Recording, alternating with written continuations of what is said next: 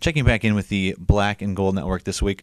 Here with Ben Soccer, here with assistant coach Kyle Zenoni. Kyle, five games in, you know, three and two. Kind of, what are your thoughts at this point so far with uh, just a couple weeks of the season in the books? Um, well, I have to say I'm uh, really impressed with the progress of the boys. Um, obviously, expectations on everyone are very high, so we want to continue just to get better every single day. Uh, I think that we're doing that. Uh, I think we learned a lesson at Xavier, um, but our main goal is just to get better every single day, every single game. Last year scored quite a few more goals than we have in the past seasons before that, but then we lose four of our top five scorers coming back into this year.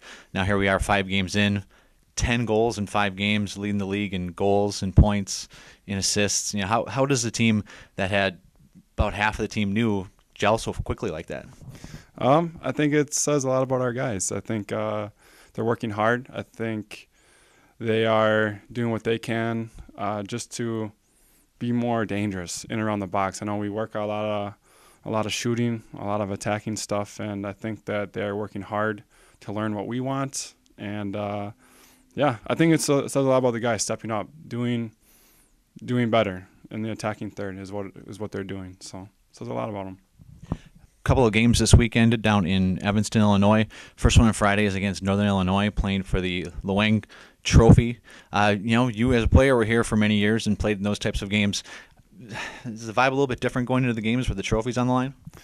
Yeah, I think it's. I mean, it's a cup game, so of course there's a lot of tradition behind that, and uh, so yeah, you want to win it, you want to take it home. We've uh, we had an unfortunate loss of one cup, and uh, we don't want to make it two. So yeah, I mean, we definitely want to go in the game. Uh, it's a cup game, so it means a lot. But with saying that, I would say that every game is very big. I think all the guys have they just take one game at a time, and we, you know, we're going to look out to get a victory for every game we play. So, but yeah, definitely a little motivation with the cup on the line. Absolutely. Then you go back on Sunday and you play a team Northwestern that you know. Is there anything worse than the SID wearing randomly wearing that school's colors and then asking you questions about the Wildcats? You know, I actually I was uh, going to say something to you before this. I was like, you know, you know what those colors remind me of. But uh, yeah, no, I think it's a, a great opportunity for us to um, bounce back at our feet. I mean, we have uh, what are they, 17 or something in the country, right? 18. So I mean, it's a great test, and I think our guys want another crack at another top 20 team, and uh, I think they deserve it. I think you know, but like I said, our first focus is Friday, and then, you know, then we'll start worrying about Sunday. But yeah, I think it's exciting to have an opportunity to have a chance at another ranked team. Absolutely. Sounds good. Thanks for your time this week, and good luck this weekend. Thank you, Zills.